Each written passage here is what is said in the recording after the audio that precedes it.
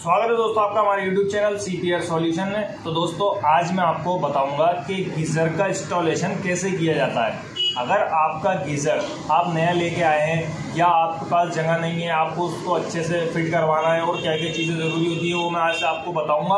और किस तरह से मजबूती से आप गीज़र को इंस्टॉलेशन इंस्टॉल करवा सकते हैं, या आप खुद इंस्टॉलेशन कर सकते हैं उसका तो इस बारे में आज हम बात करेंगे और मैं आपको पूरा ए टू जेड बताऊँगा इसको कि कैसे काम किया जाता है। और अगर आप हमारे चैनल पर नए हैं तो सब्सक्राइब कीजिए दोस्तों और वीडियो को लाइक करना और हाँ दोस्तों, वीडियो को पूरा देखना ताकि आपके सब कुछ समझ में आ सके। मैं स्टेप बाय स्टेप एक एक चीज़ आपको बताने वाला हूँ। तो चलते हैं वीडियो की तरफ़।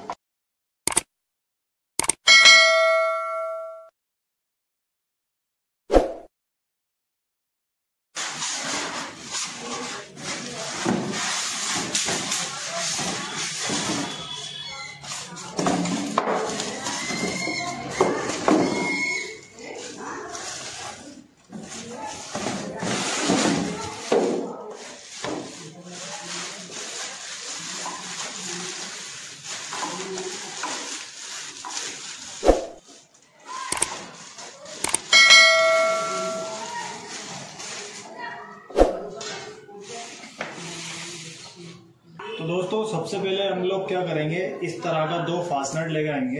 ये मैं आपको दिखा देता हूँ। इस तरीके का आता है फास्टनट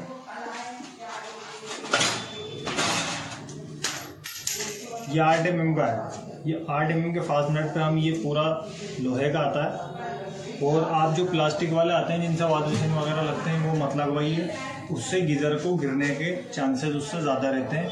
और वो इतना मज़बूत नहीं हो पाता, जितना मज़बूत ये होता है।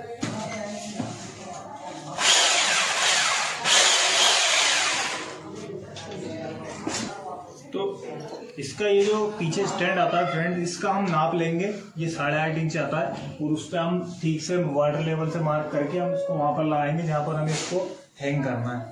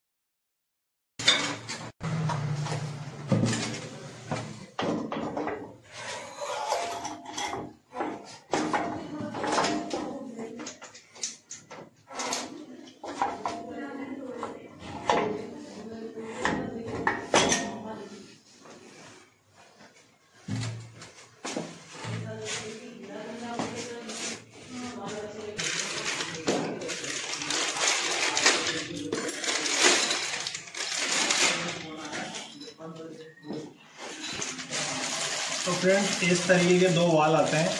ये इनलेट आउटलेट वाले वाल होते हैं। ये जो टंकी में से कनेक्शन आ रहा है हमारे, उसमें लगेगा। और आउटलेट जो गीजर निकाल रहा है, पानी गर्म करके एक, उसमें लगेगा। तो ये आपको डोर दिख रहे होंगे। दो इनमें से अब हमको चेक ये करना है कि इसमें इनलेट वाला कौन सा है आउटलेट कौन सा बनाना है। तो अब हम क्या करेंगे? ये जो वाल है, इस वाल के हम ऊपर हम टेप टेफलॉन लगाएँगे ताकि ये पानी लीक ना करे बिल्कुल भी। इस तरीके से।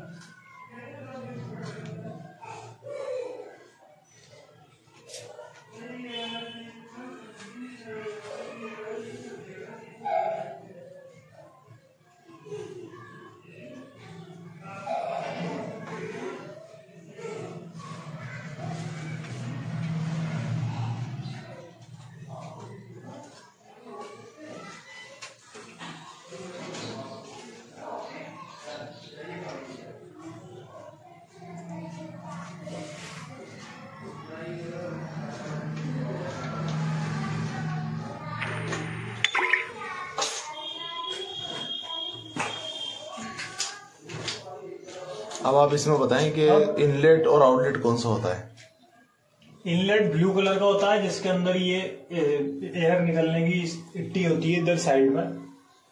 ये इनलेट वाला पाइप होता है। तो यानी जो टंकी में से पानी आ रहा है वो हम इसके अंदर देंगे।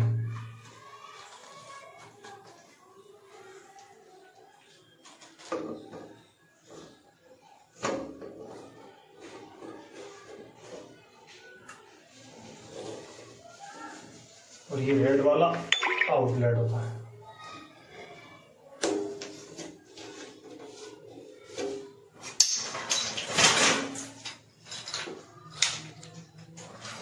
छोटा है